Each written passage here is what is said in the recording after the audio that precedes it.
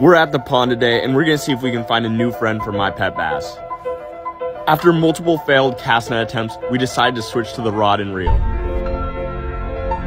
Literally within seconds we were catching them and they were perfect size. Of course when we were catching so many, we had to have a little fun with it.